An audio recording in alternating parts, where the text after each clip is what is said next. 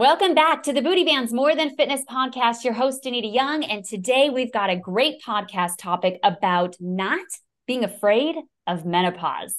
I really love this. We have a special guest named Mary. She has taken us through her own personal experiences with this and what she has done to now really kind of take the control, take her power back, and not be afraid of it anymore. Let's get started. Booty Bands and Barbells helps busy women sculpt and tone their bodies in just 15 minutes a day through our physical products and our one on one coaching.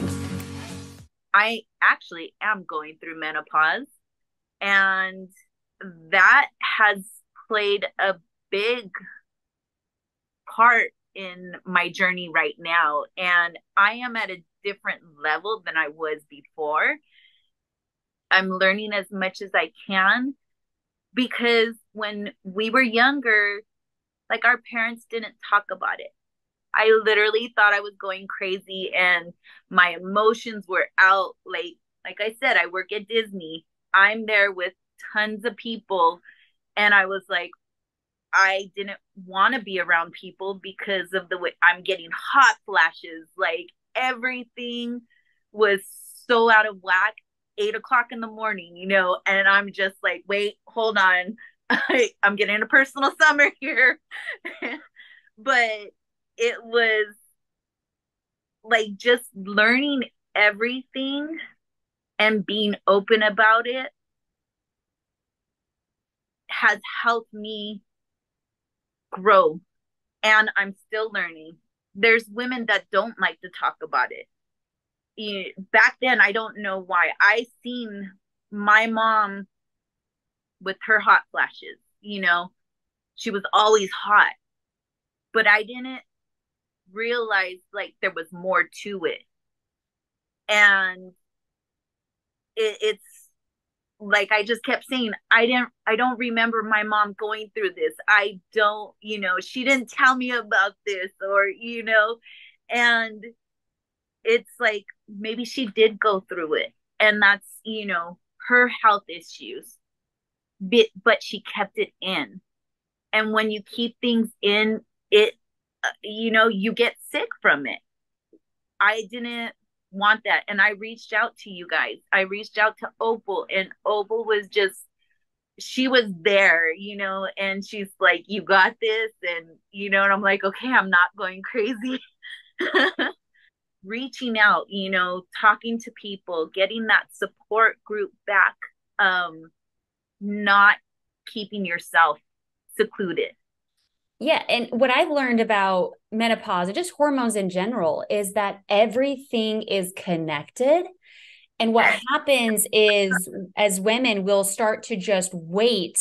Usually, women will wait until all of a sudden these symptoms start to happen. And then we start doing something about it when that is not the way we want to be going into menopause. And so the best thing to do like you said is to share so we can learn. If you're going through something it's your body signaling you something. I have been working with women in menopause where this has literally been the cycle. It's so it, has been everyone's stories are so interesting and so fascinating. That's why it's so personalized. But uh, there was one member that came in and she was like i just can't lose weight. I can't seem to just budge. Like nothing is moving. And i was like all right so her nutrition looked great, her workouts looked great. And but then when I started asking a couple questions, I was like, wait, where's your stress? Her stress was through the roof. Her sleep was non existent. I was like, interesting. Well, I know that affects your hormones. So, what we did is we dialed in it a little bit more, realizing that the stress affecting the sleep makes it so you cannot build your lean muscle. That is where you build your lean muscle, which is lean muscle is your metabolism that's burning the fat. Yes. So what we did in the program is we were literally just de-stressing her. She came in a neurotic mess and she left going, I feel so much more calm and at peace and I have this finally under control. It was a huge shift in her menopause journey. And we know that stress can create the hot flashes. We know that everything is seriously connected, but what's happening is people are just putting synthetic treatments pills, injections, or what have you onto the symptom, but they're never addressing the root of it. And when you address the root, not only does it change the hormones that takes the symptoms away to help manage your menopause, but then also the other areas of your life start to change. She started losing weight more effortlessly. She started dropping pant sizes. And she goes, I wish somebody would have told me this sooner.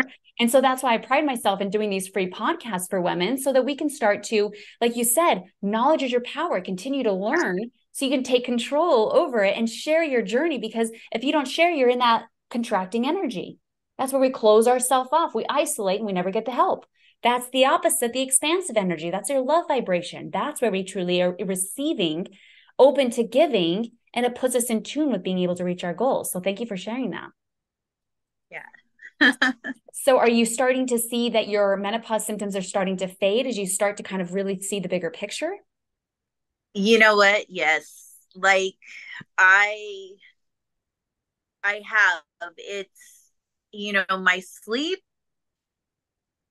this week really hasn't been too great just because of everything that's going on and stuff, you know. But you got to also remember, I'm home. I've been home for this will be two weeks. And so I was stuck in the house, you know, bed rest. It, what do you do? You sleep. So it's like sleep during the day, and I was at at night. I'm like wide awake. It's like so it's just getting myself back on track um making sure that i'm going to bed at least by 9 30 you know 10 o'clock and getting as much sleep as i can and i actually do you know i i have a counselor i started talking to a counselor because like i said i thought i was going crazy I see it. From the first day that I called her, I was like crying a mess, you know, just like so emotional, like lost, you know, like my hormones were so out of whack. And now it's like I've zoomed with her and she's like, I see that spark in your eye again. I see that, you know, it's I, I see the light in you, you know, and it's, I feel it. Today, I feel great. Don't ask me about tomorrow. I'm focusing on today because who knows, my my levels might be I don't know, but I don't want to focus on that. I want to focus on today and my wins today. So ah. thank you for this information and sharing and being vulnerable, Mary, truly. A few tips as far as still diving into the the menopause and hormone world. I want to share a couple resources that i have found to be extremely helpful. One is a book called woman code. Woman's code. You guys that book every woman needs to read it will explain the connection of everything and how to really dial in and start controlling. It has absolutely helped make me take control and also help other women. So that's a big one. The other one, there is an uh, an app called Ovia app, O V I A. It's a free app that it syncs up with your cycle or your menopause, and it tells you what is going on. If you're having hot flashes, it'll say you're estrogen dominant and how you can actually clear extra extra estrogen. If you're gaining weight, you're estrogen dominant and how to clear extra estrogen. How to balance yourself more on a holistic path. There's also another one. I have a doctor that I've reached out to. She's a holistic doctor named Dr. Patricia. I just did a podcast with her recently. And if anybody actually needs her information, she does a test with you that she she checks all of your estrogen levels your E1 E2 your E3 finds out where they're at. No doctors actually from what what I can see have tested it to that much of a detailed and what she does is she does not slap a bunch of band-aids and just a bunch of synthetic products on you. She is like to the core figuring out exactly how to get to that the root of the problem as far as your progesterone your estrogen testosterone all that stuff and so I have her. And then also the other one is I just did a podcast. Go check it out. It's on Booty Bands More Than Fitness. And this was with Teresa. She was, um, she's about, she's in her 50s. She struggled with menopause for over 10 years. And I did a podcast and she revealed everything. She revealed the vitamins we should be taking, what sleep really means, what time we need to be going to bed, because what is going on in our sleep during our hormonals rebalancing themselves. I mean, she goes through the list and she was like a, she was like a bikini competitor. So she really has like an overall view of more like fitness level on kind of that perspective. And so that was really profound. And so those would be some great, great resources, you guys, to go check out if you're still kind of in that world of confusion with it learn, learn, learn, because the truth of it is the symptoms are not normal.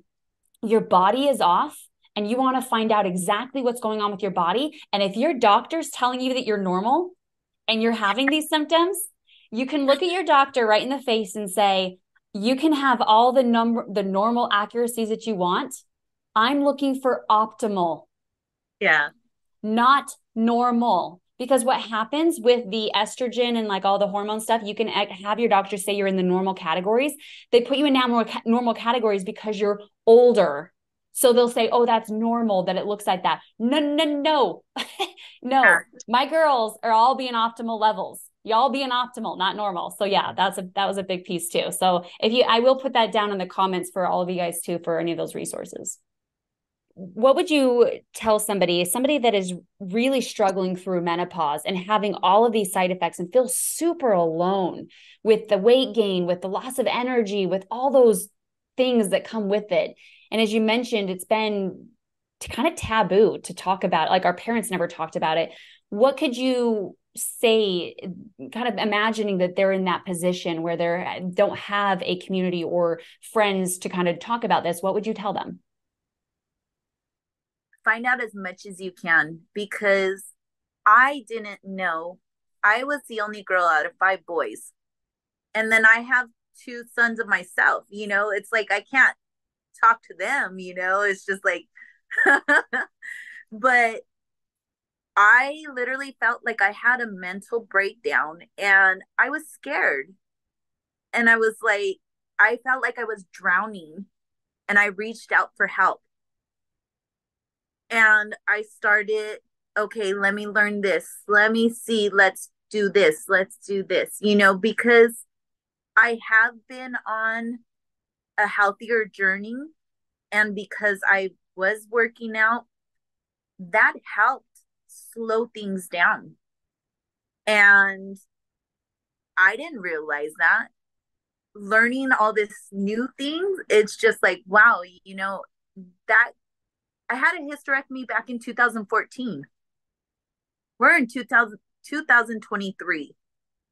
Find out as much as you can, learn, ask for help. You're not alone. You are not alone.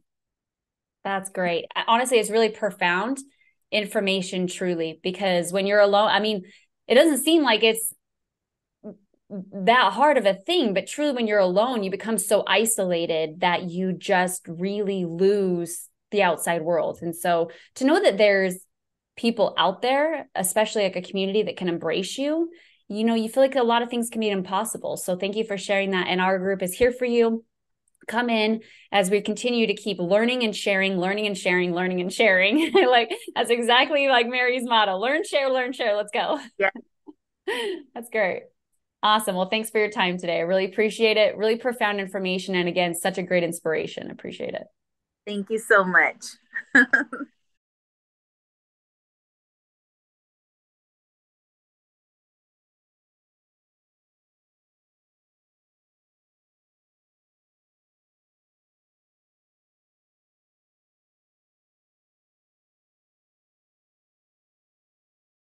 Ripping the wall since it felt like this, this, this, this. Ripping the wall since it felt like this, this. Ripping the wall since it, ripping the wall since it felt